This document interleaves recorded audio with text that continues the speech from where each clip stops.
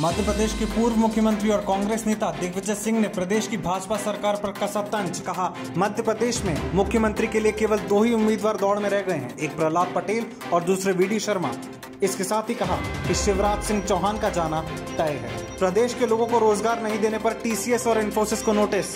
Super corridor पर रियायती दरों में ज़मीन लेने के बावजूद नहीं दिया रोज़गार।